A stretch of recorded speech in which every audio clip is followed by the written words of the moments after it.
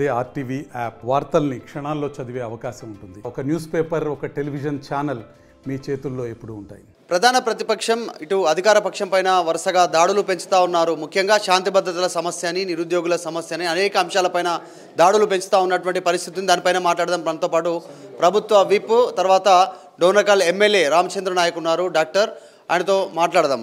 రామచంద్ర నాయక్ గారు వరుసగా ప్రతిపక్షం నుంచి వస్తున్నాయి విమర్శలు ఇటు బీఆర్ఎస్ నుంచి ఇటు బీజేపీ నుంచి వరుసగా మీరు ఫెయిల్ అవుతూ ఉన్నారు నిరుద్యోగుల విషయంలో కానీ శాంతి భద్రతల విషయంలో కానీ ఇచ్చిన హామీల అమలు విషయంలో కానీ అనేకంగా వీళ్ళు ధర్నాలకు పాల్పడడానికి సిద్ధమవుతున్నారు అసెంబ్లీ సమావేశాలు కూడా ప్రారంభం కానున్నాయి ఏం చెప్తారు 75 plus entrepreneurs.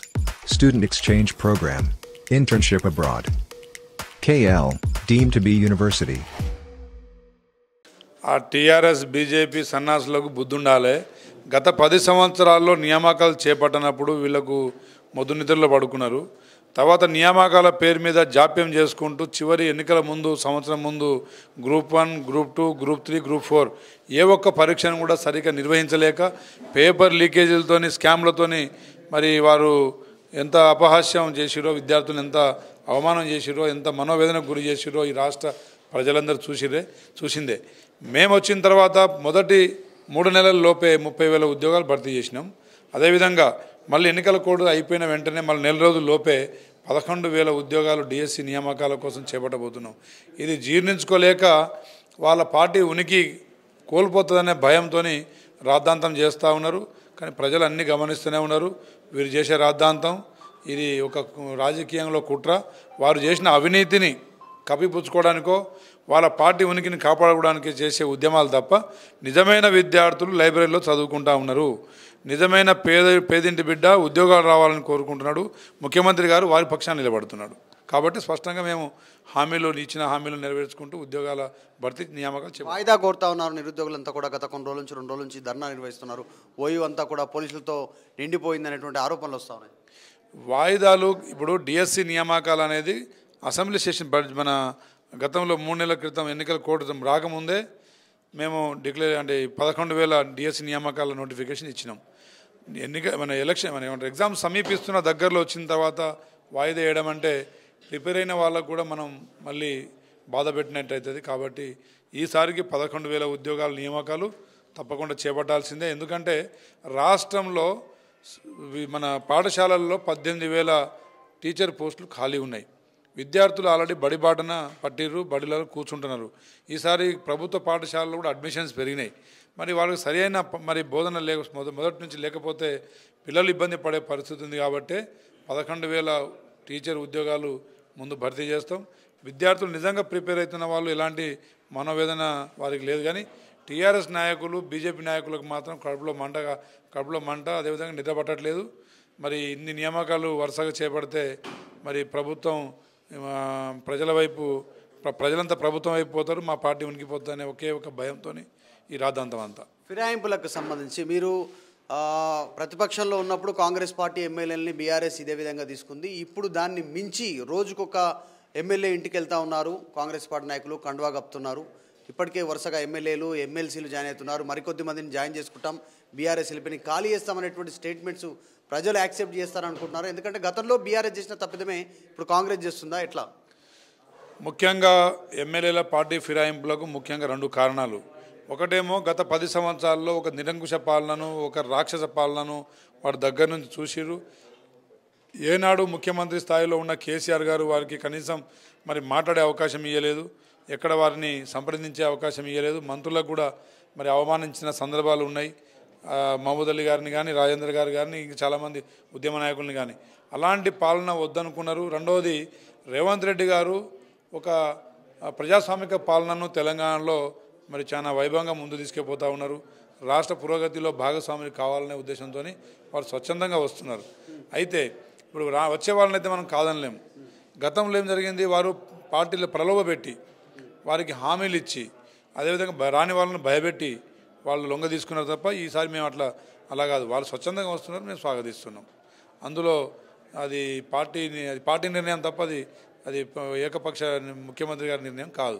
వారిపైన అనర్హత వేటు కోసం సుప్రీంకోర్టు తలుపు తడుతా ఉన్నారు బీఆర్ఎస్ పార్టీ నేతలు. చూసాం హరీష్ రావు కేటీఆర్ వరుసగా సుప్రీంకోర్టుకు సంబంధించినటువంటి న్యాయవాదులతో సంప్రదింపులు చేస్తూ ఉన్నారు. దానం నాగేందర్ తర్వాత తెల్లం వెంకట్రావు కడియం శ్రీహరి ఇలాంటి వారు పార్టీ మారిన సందర్భంగా. మిగతా అందరిపైన కూడా అనర్హత వేటుపడుతుంది. ఉప ఎన్నిక రాబోతుంది అంటున్నారు నిజంగా మీరు ఎమ్మెల్యేలని విలీనం చేసుకొని ఉన్నారా బీఆర్ఎస్ ఎల్పిని? లేకుంటే ఇట్లా ఉప ఎన్నిక మళ్ళీ రావాలని కోరుకుంటుందా? ఇట్లా ఏం ప్రభుత్వ ఆలోచన ఏంటి అది కాలం నిర్ణయిస్తుంది. దాదాపుగా ఎనిమిది మంది మండలి సభ్యులు వచ్చేసిర్రు. ఇంకొక తొమ్మిది మంది వస్తే వాళ్ళు ఎల్పి మెర్జ్ అయిపోయే అవకాశం ఉంటుంది మండలి. అదేవిధంగా అసెంబ్లీలో కూడా దాదాపు ఎనిమిది మంది ఎమ్మెల్యేలు వచ్చేసిర్రు. ఇంకొక పదిహేను మంది ఎమ్మెల్యేలు వస్తే టీఆర్ఎస్ పార్టీ ఎల్పి మొత్తం ఖాళీ. అది కాలం నిర్ణయిస్తుంది. ఎవరిని మరి దీంట్లో ఏ స్థానంలో ఉంచాలన్నది ప్రజలు నిర్ణయిస్తారు. తప్పకుండా ఏదేం జరిగినా కానీ ప్రజాపాలనను ప్రజల సంక్షేమాన్ని మరి పక్కదారి పట్టకుండా ప్రజల్ని కాపాడుకునే బాధ్యతలు మాత్రం పార్టీ ఉంటుంది. అదేవిధంగా కార్యకర్తలు కూడా కింద మా కార్యకర్తలు కూడా హర్షిస్తూ ఉన్నారు. ఎందుకంటే ఈ కుట్రను మొదలుపెట్టిందే కేసీఆర్. ఈ కాంగ్రెస్ పార్టీ నామరూపాలు లేకుండా చేయాలనే కుట్ర మొదలుపెట్టింది కేసీఆర్ గతంలో కాబట్టి ఈరోజు కేసీఆర్కు అలాంటి తగిన శాస్తి జరగాల్సిందని చెప్పి ప్రజలు కూడా సంతోషిస్తూ ఉన్నారు. మరి వారింటి నుంచి మా ఇంటికి ఎంత దూరం మా ఇంటి నుంచి వారికి ఎంత దూరం అని ప్రజలే అనుకుంటున్నారు.